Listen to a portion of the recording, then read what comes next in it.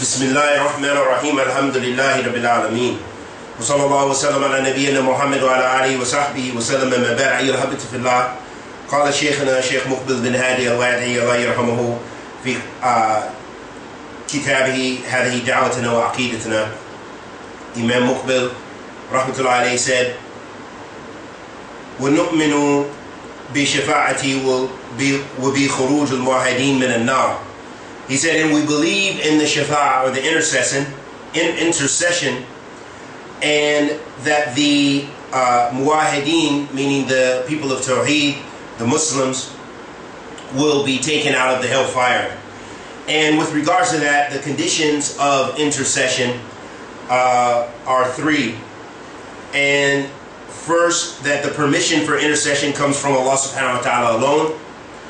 Number two, the person being interceded for must be a Muslim, as Allah is only pleased with those who worship Him alone. The evidence for those two conditions is the statement of Allah subhanahu wa ta'ala where He said, How many from the angels in the heavens do not possess from intercession anything except after obtaining permission from Allah for whoever He wishes and is pleased with? So that lets us know that uh, the permission for intercession it comes from Allah subhanahu wa ta'ala. And that Allah has to be pleased with that person. And the people that Allah subhanahu wa ta'ala is pleased with uh, has to be from Ahl Tawheed, the Mu'mineen. And so Imam Muqbil, rahmatullahi alayhi, of course, uh, believed in the Shafa'ah, this intercession, as is the Aqidah of Ahl Sunnati wal Jama'ah. And intercession meaning refers to seeking uh, assistance or help with something by through something else by something else as a means. And this shafa'ah that we seek from Allah subhanahu wa ta'ala while we're living there's there's various there's various types of shafa'ah so we'll mention some of the types of the aqsam of shafa'ah the first shafa fi dunya bi du'a wa salat So the first type of shafa or intercession is shafa that we have in this life. And that comes by supplicating to Allah, making dua, making salat, uh, doing acts of ibadah. Talib al-ilm is a type of, uh, you know, it's a means to come closer to Allah subhanahu wa ta'ala. If you're, if you're using it as a form of ibadah, then this is a type of intercession that you are seeking, if you're seeking the face of Allah subhanahu wa ta'ala, you're seeking the pleasure of your Lord subhanahu wa ta'ala.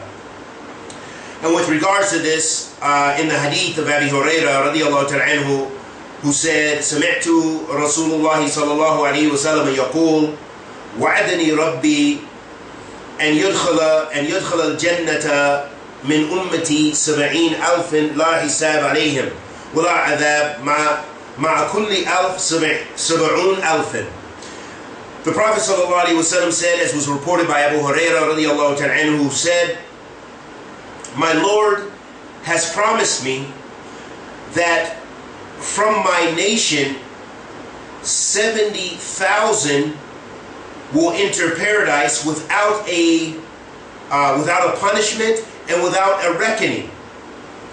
And with each one of them will be 70,000. So this is proof that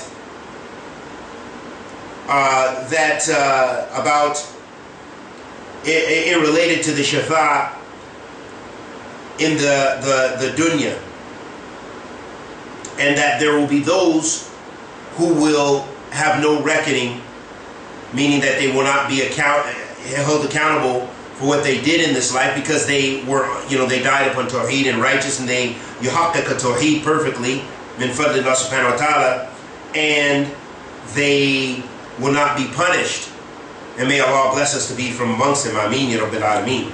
The second type of shafa is the shafa khas bi Rasulillahi sallallahu alayhi wa sallam bi dua.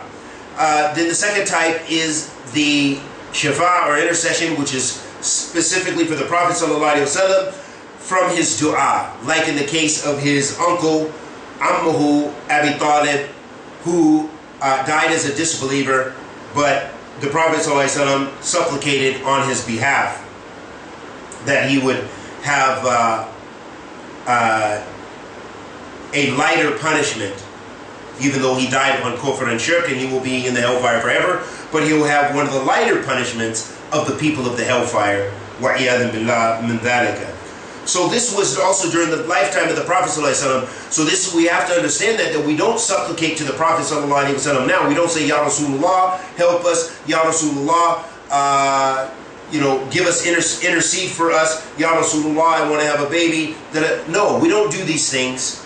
Uh, worshiping the Prophet ﷺ because the Prophet ﷺ himself, himself said, Adu'ahu ibadah, that supplication is, is ibadah, that is worship. So if you try to make shafa'at with the Prophet ﷺ now, after he ﷺ died, then this will actually be a type of shirk.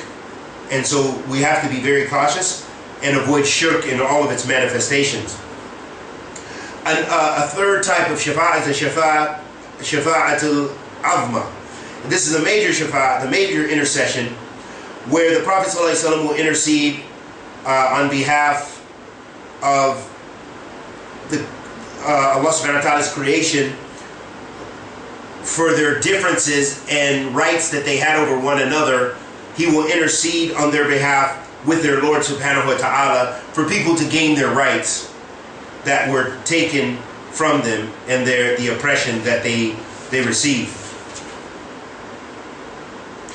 And the last type of shafa here is shafa'at al-ishab al-kaba'ir bi khuruj min al-nar. This is the fourth type of shafa'a, and this is for the people who have done the major sins from amongst the mu'mins, from, from amongst the believers, and they died upon that, and they tasted some of the hellfire for this.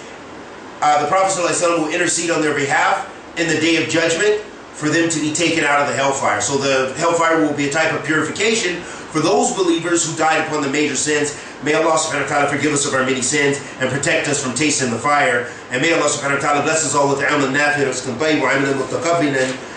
And thus ends that aspect of the treaties. وصلى الله وسلم على نبينا محمد وعلى آله وصحبه وسلم.